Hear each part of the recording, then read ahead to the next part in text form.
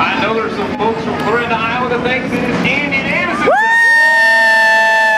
How about the guy from Missouri Valley, Jason Gold, now back in the third